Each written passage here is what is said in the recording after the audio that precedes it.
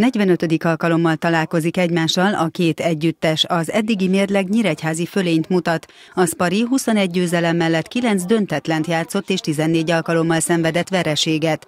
A legutóbbi szezonban a Tiszapartiak hazai pályán 2-1-re nyertek, a Spari pedig 4-3-as sikerével tartotta otthon a három pontot. Jelenleg a Szolnok áll jobban a tabellán, Balogpál együttesen 8 győzelemmel, 4 döntetlennel és 6 vereséggel a hatodik helyen várja nyíregyházi fellépését. Egy stabil védekezésből játszó csapatról van szó, akik nagyon szervezetten futballnak és elő, előre felé vannak kellemetlen, kimondottan gyors és ügyes játékosaik. A Nyíregyháza Spartakusz eddigi mérlege 7 győzelem, 6 döntetlen és 5 vereség.